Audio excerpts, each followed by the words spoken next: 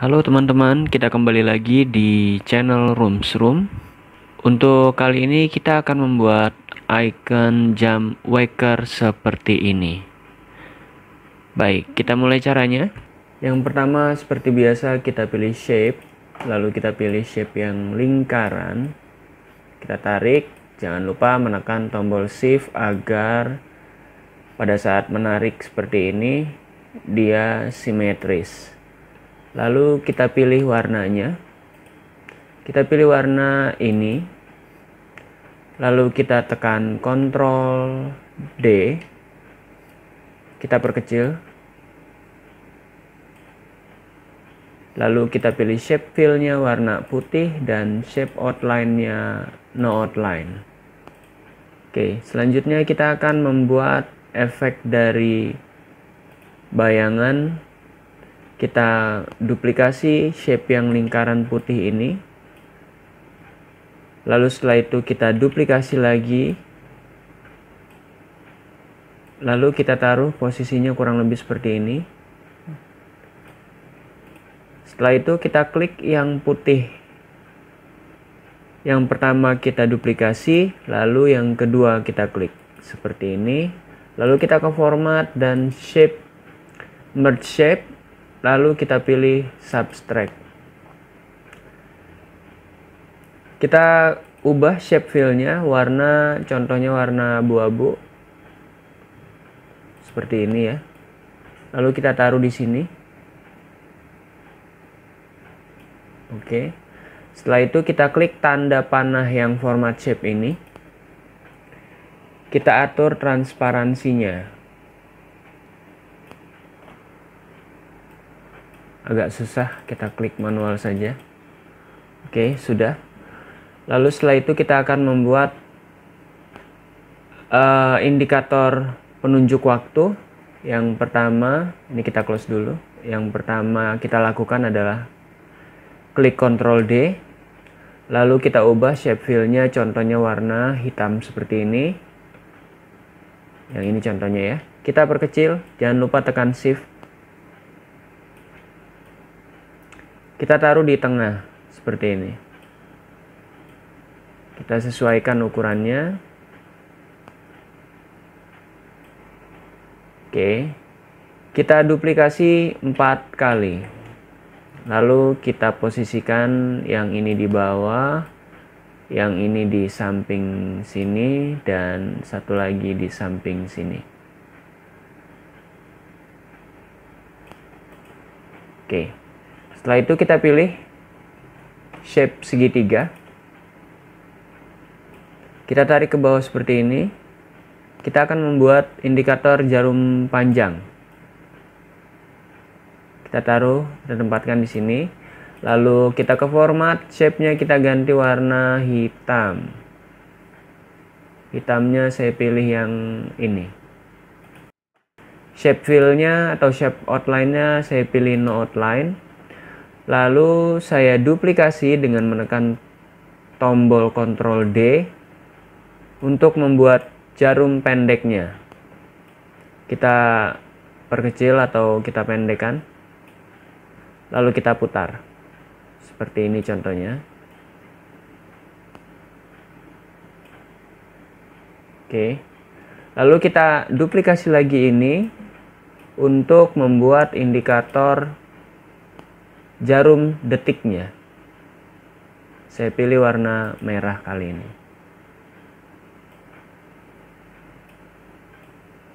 Saya taruh contohnya di sini.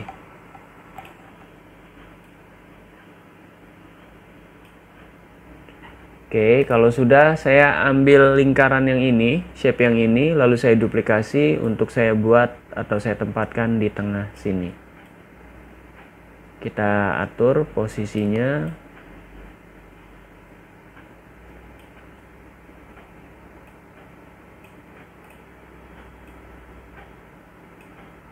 Oke. Saya ubah warnanya misalnya warna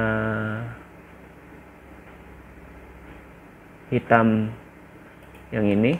Lalu kita shape effect dan shadow warna atau shadow yang outernya yang center seperti ini Oke, langkah selanjutnya adalah kita pilih uh, shape rectangle.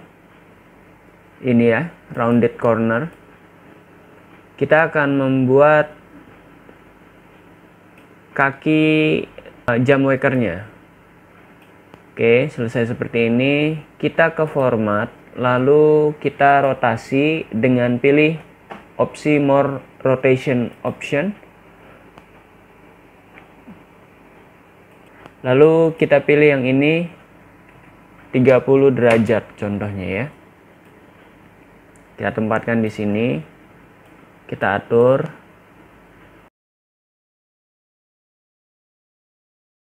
Shape outline-nya outline dan shape fill-nya warna orange tua seperti ini lalu kita taruh di bawah shape-nya send to back. Oke. Setelah itu kita duplikasi. Lalu kita rotasikan seperti ini. Kita tempatkan di sini.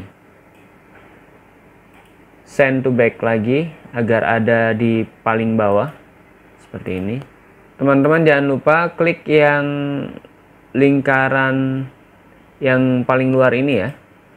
Lalu kita ke format shape efeknya shadow center seperti ini. Oke.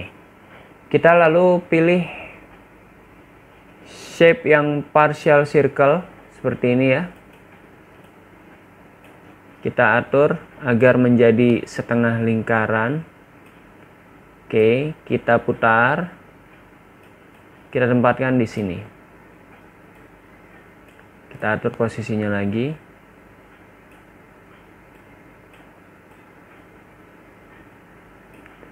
Oke, kita ke format shape outline-nya no outline, lalu shape fill-nya warna kita samakan dengan warna merah ini. Lalu kita duplikasi kita duplikasi dan kita akan memilih warna yang agak merah seperti ini ya. Merah seperti ini kita tempatkan di sini tapi kita perkecil. Kita akan membuat efek dari shadow kurang lebih efek seperti uh, bayangan ya. Kita tempatkan di sini. Nah teman-teman pilih ini apa namanya tanda panah ini format shape lalu pilih transparansinya. Kita ubah transparansinya contohnya saya pilih transparansi 80 nah setelah jadi kita klik dua-duanya ya. Shape yang setengah lingkaran awal dan yang terakhir tadi kita buat. Lalu kita duplikasikan. Setelah diduplikasi, uh, kita tekan Ctrl G untuk menjadikan satu objek ya. Tekan Ctrl G lalu kita putar seperti ini. Kita tempatkan di sini. Kita putar lagi.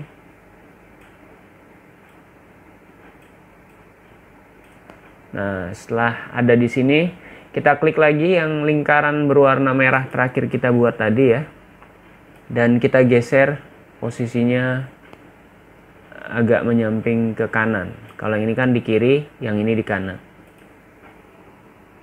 oke. Setelah jadi kita pilih lingkaran lagi. Kali ini kita akan membuat uh, alas dari kaki si jam waker ini ya. Kita ke format shape outline nya no outline dan shape fill nya kita pilih warna ini ya light gray. Lalu kita duplikasi lalu kita pilih warna abu-abu light gray tapi kita atur transparansinya dengan menekan format shape tanda panah ini. Transparansinya kita atur 50% contohnya. Ukurannya kita sesuaikan. Transparansinya kita tambahkan lagi ya. Contohnya di angka 76 seperti ini. Oke setelah itu kita tekan dua-duanya lingkaran terakhir tadi dan kita group lalu kita duplikasi dengan menekan tombol Ctrl D. Duplikasi. Kita taruh di sini. Oke. Untuk icon jam waker sudah jadi, kita drag semua. Ini nggak terbawa, kita klik. Lalu kita Ctrl G atau grouping. Setelah itu kita perkecil icon wakernya seperti ini. Oke, kita akan membuat uh, efek bayangan dari jam wakernya. Kita pilih lingkaran ini.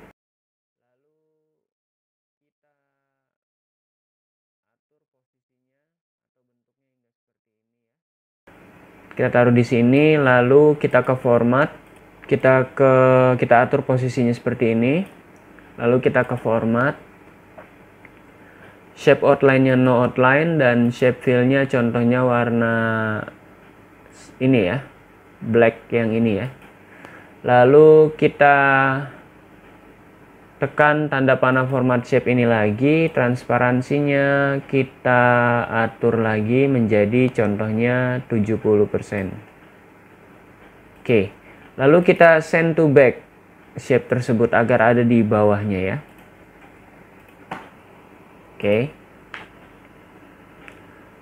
Setelah jadi, kita akan membuat kesan bahwa jam waker ini sedang berdering. Jadi kita pilih shape block arc seperti ini ya. Seperti ini. Lalu kita atur ketebalannya menjadi hanya seperti garis saja seperti ini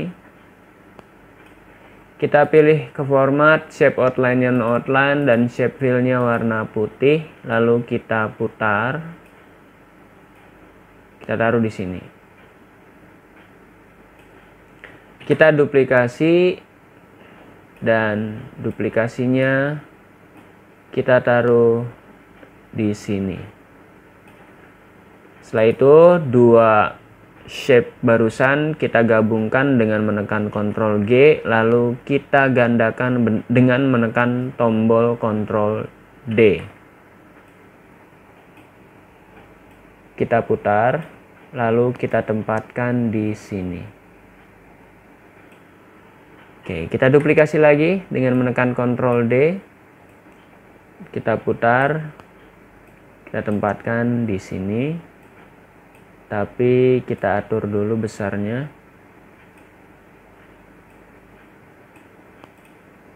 Oke ini harus disesuaikan.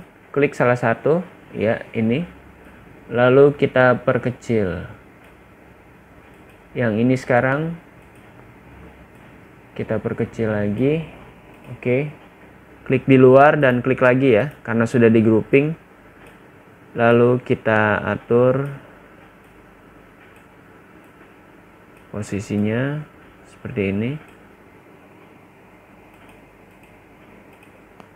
Setelah itu kita gandakan lagi Ctrl D lalu kita taruh di sisi yang ini kita putar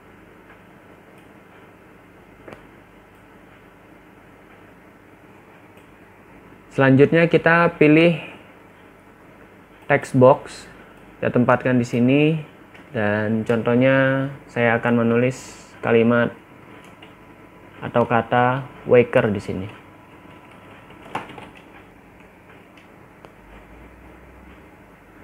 Setelah itu saya blok kalimat atau huruf WAK-nya.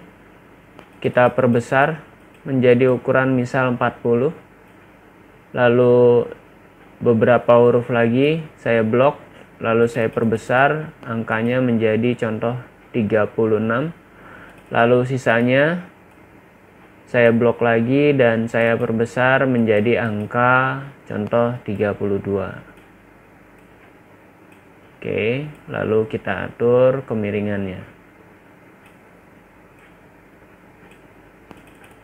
Kita blok semua, lalu kita pilih text shadow ya. Seperti ini. Oke, selanjutnya untuk mempermanis uh, tampilan jam waker ini, saya akan menambahkan icon di dalamnya. tekan insert, menu insert ya. Pilih icons. Kalau teman-teman menggunakan Microsoft PowerPoint yang 365, ini sudah ada di dalamnya. Kalau memang teman-teman tidak menggunakan yang 365, teman-teman bisa menggunakan icon lain yang teman-teman miliki. Contohnya, lalu saya akan pilih beberapa icon yang saya butuhkan untuk uh, menambah efek keseruan dari jam maker tadi. Teman-teman bisa pilih bebas sesuai dengan temanya.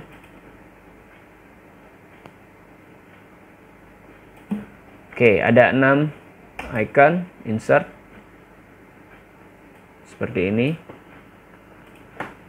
Lalu kita tempatkan di pinggir-pinggir atau di sisi-sisi ilustrasi jam waker tadi yang kita buat.